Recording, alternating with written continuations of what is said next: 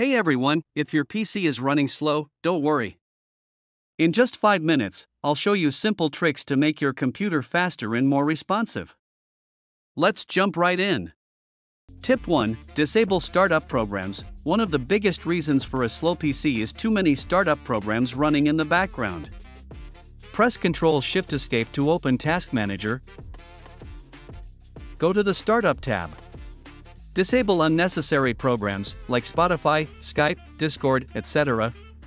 Restart your PC to feel the difference. Tip 2 Clear temp files. Your computer stores temporary files that can slow it down over time. Let's clear them. Press Windows R and type temp, hit enter. Delete all files in this folder, skip those that can't be deleted.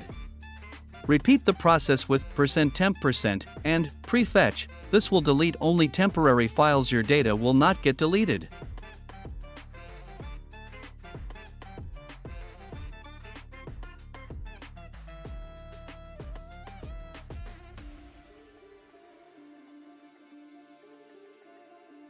Tip 3 Adjust performance settings. Windows has a lot of animations that can slow your PC. Right click this PC, select Properties, click Advanced System Settings. Performance Settings, select Adjust for Best Performance or Custom. Disable fancy animations, your PC should now feel snappier. Tip 4 Uninstall unused programs.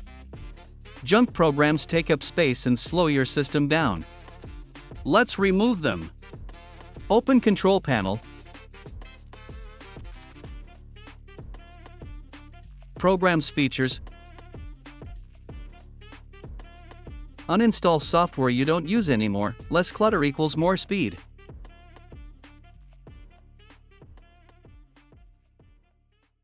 Tip 5 Restart your PC regularly. A simple restart clears RAM and refreshes your system, fixing minor slowdowns. Make it a habit to restart your PC at least once a week. That's it.